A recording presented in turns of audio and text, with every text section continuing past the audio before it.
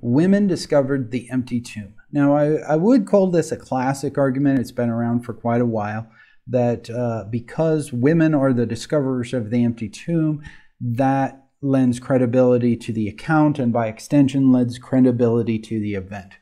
Now, when you have an argument of course, you have to be aware of potential defeaters. I think of, uh, for example, Richard Carrier on this topic. I think of, uh, for example, John Dominic Crossan and his explanation for the writing of the Gospel of Mark. trying to defeat this as a, some sort of argument to lend credibility to it. Now, you can always misrepresent an argument, uh, and in this case, I think you can misrepresent what it would have meant in the ancient uh, first century Jewish world, let alone the first century Greco Roman world uh, uh, wider.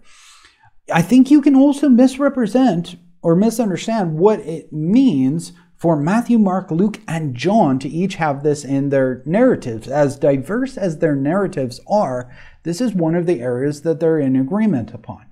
Now, Dr. Worm's book on the resurrection covers this topic rather quickly and, and very approachably. Uh, N.T. Wright's book covers it much more in depth, uh, but then again, um, his book is some 700 plus pages.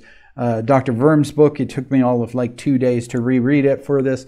Uh, N.T. Wright's book, it takes more than two days to read, and, and then you, of course, have to get into the text. the bottom line is, in the ancient world, women's testimony was basically worthless. This is both in the, the Jewish world, this is also in the wider Greco Roman Gentile world.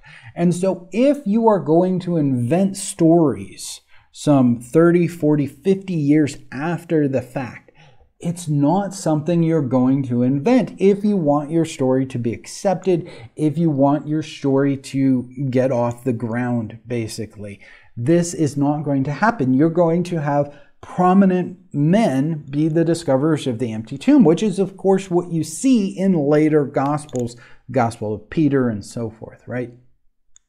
Now, Matthew, Mark, Luke, and John all agree, there's no divergence here, that it's women or a woman who discovers the empty tomb. Now, let's just give, for the sake of argument, that Mark is the first gospel written. I don't believe that, but let's just give it, right? And let's even grant late dates for the writing of Mark. It's late 60s, it's early 70s, right? Now, when Paul writes First Corinthians, we know that that's early to mid 50s. And in chapter 15 of 1 Corinthians, we have the embedded creed. That's not just my opinion. Uh, that's uh, scholars on both conservative and critics. Uh, Bart Ehrman, uh, for example, believe that we have an ancient creed. Uh, uh, and it's because of the writing style here. For I delivered to you of first importance, which I also received. So probably Paul got this when he went to uh, meet with James and, and Peter and John, and he received this ancient creed that was already in use sometime prior to the 50s. And uh, the repetitive nature, he was, buried, or excuse me, Christ died for our sins according to the scriptures. He was buried and he raised on the third day according to the scriptures. So we have this pattern going on and that he appeared. He appeared to the women and he appeared to Mary Magdalene, except that's not what the creed says. The creed says that he appeared to Cephas, who would of course be Peter. He appeared to the 12. He appeared to 500 of the brothers. He appeared to James. He appeared to the apostles. Last of all, he appeared to me, right? So this early Christian creed has airbrushed out women being the discoverers of the empty tomb. This ancient early creed puts, of course, Peter front and center and the rest of them front and center. So we know that that exists prior to the 50s. 10, 20, 30 years later, gospel writers are inventing stories and they invent women being the discoverers of the empty tomb, despite the fact this ancient creed already puts men being the primary witnesses of the resurrection. So, do you really think that that's a good argument that, you know, uh, explains the evidence that we have?